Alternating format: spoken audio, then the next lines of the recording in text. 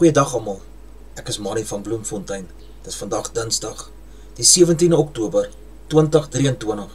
Ons doen die nuus in kollig en ons behandel weer eens verskeie koerante net kortliks. Die voorblad van die burger. Kriel weier om homself te prys na top vertoning. Dominee Jan Libbe NG Kerk se nuwe moderator. Die skuldiges het eintlik twee misdade gepleeg. Skoktoespeler op rugbyveld sterf. Raadslid se seun sak skielik in mekaar tydens wedstryd. Korrupsie by lotery. SOE mag leekse huise en motors gaan gryp. Voorblad van die Volksblad. Die Bloemfonteiner is blits oor 'n hekkie. BFN vrou praat uit Israel met VB. Hulle is die voorste sportsterre in VS. Brandvoortbrande, lang pad na herstel, nog voor. Kreel hoop Franse steen, nou die bokke, NG Kerk, wys dominee Jan Libbe as nieuwe moderator aan. Voorblad van die beeld. Nieuwe leiers verkies, vrystater, lei nou die NG Kerk. Bokke sal gefokus en gereed wees vir Engelse aanslag, sê spanman. Jessie Kriel. Reen en haal, saai verwoesting.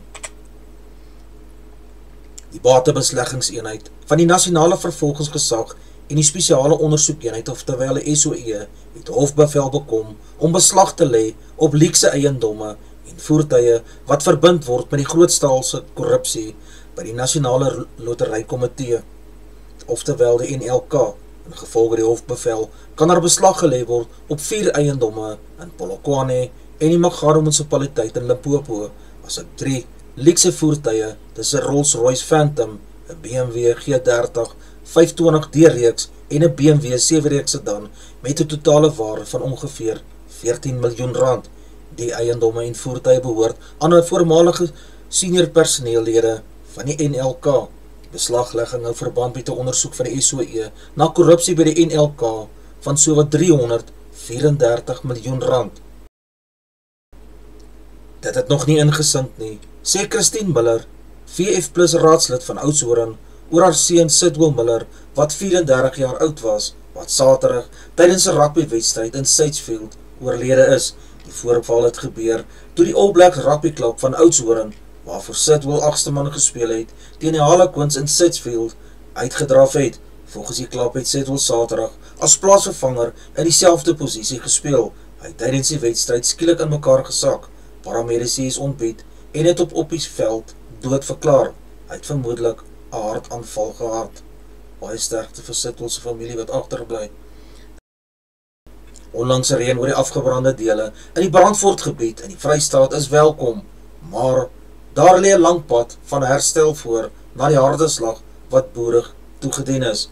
Boere in die omgewing van Winburg, Denison, Brandfort, Senekal en Verkeerevlei het in die jongste brand 50000 hektar weiding en tientalle stuks vee verloor. Sommige boere het al hulle weiding verloor, hoewel daar sprake is van 'n werker wat by hek geswys het wat tot die brand kon gelei het, het niemand nog regstap gedoen nie. Dominee Jan Lippe wat 59 jaar oud is, voorsitter van die Vrystaatse Noorde, is die nieuwe NG Kerk sy nieuwe moderator. Libbe is gister op die kerk sy 18e vergadering van die Algemene Synode, oftewel AS, aangewys. Die Synode sitting vind van deesweek in Boksburg aan die Oosrand plaas. Die AS sit elke 4 jaar. Die Departement van Verdediging vermors meer as 120 miljoen rand op die opleiding van medische studenten in Kiba, selfs Al is die Suid-Afrikaanse nationale weermacht sy grootste enkele uitdaging, sy koinene vermoe om die land te verdedig weens onvoldoende financiering.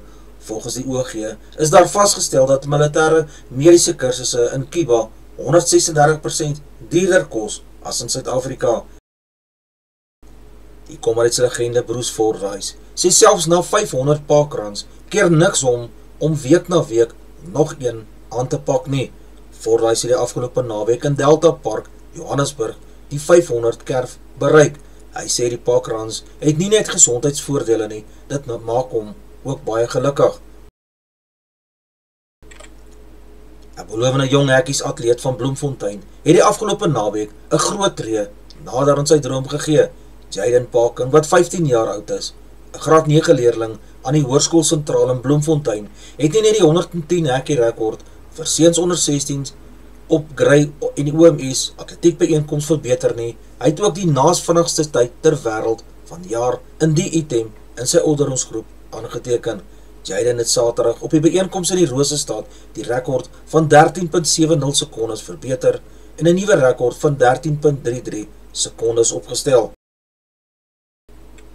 Suid-Afrikaners kan dalk uitsien na bykomende openbare vakansiedag in Denny Springbokke die Web Ellis Trofee op die Wêreldbeker rugby toernooi in Frankryk wen. President Cyril Ramaphosa het gister in 'n virtuele toespraak op die tweede Suid-Afrikaanse Groen Waterstofberaad gesê hy sal dit oorweeg om 'n openbare vakansiedag af te kondig as die Springbokke wen. Sowel Ramaphosa as die ANC het die span geluk gewens met hulle naalskraapse oorwinning Sondag aand teen die Franse in Parys waarmee hulle tot die halfeindstryd teen Engeland deurgedring het. François Venter sal 'n ervare haie groep na Europa lei vir die VRK wat die naweek begin.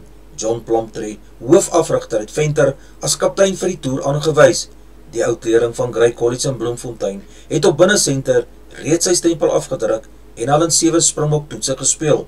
Hy sal spanmaats soos Pepsi Buthelezi, Raneel Hugo, James Venter, Sikombuzo Noche aan sy sy hê tydens die toer.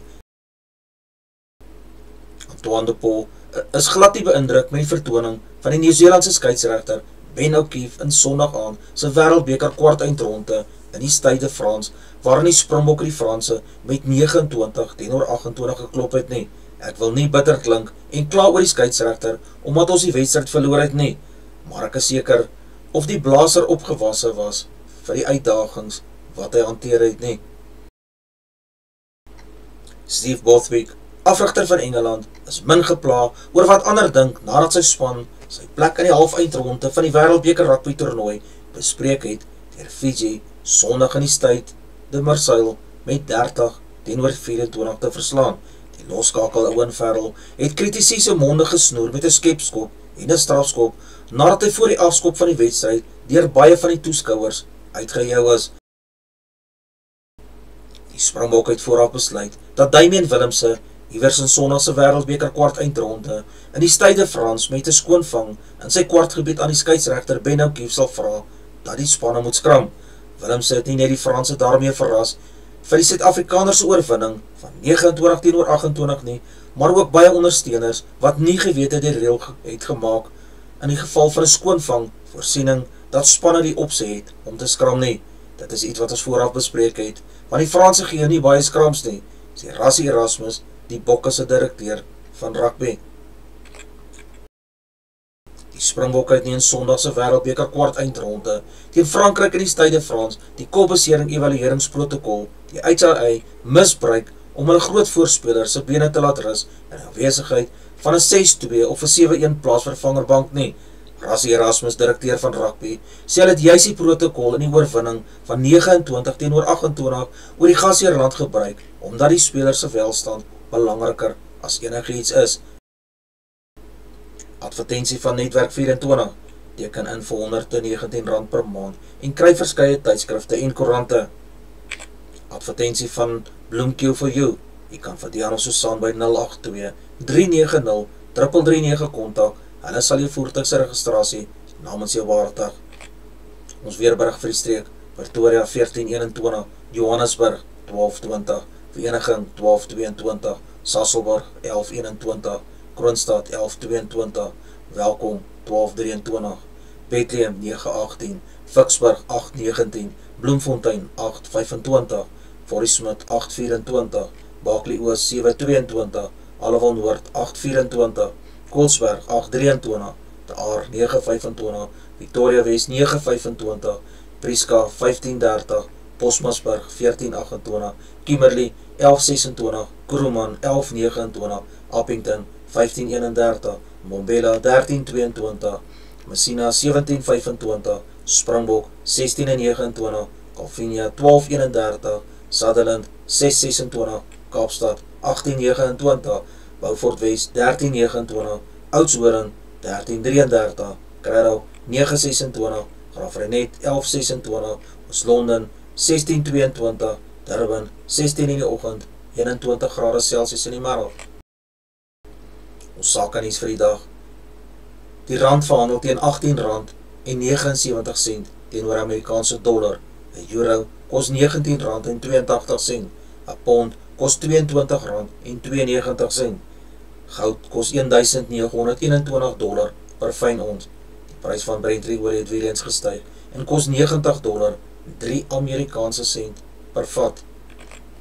Dis al vir vandag. Onthou om te like, deel met jou vriende en jou vriendinne en onthou om te subscribe op my kanaal. 'n Aangename dag vir julle.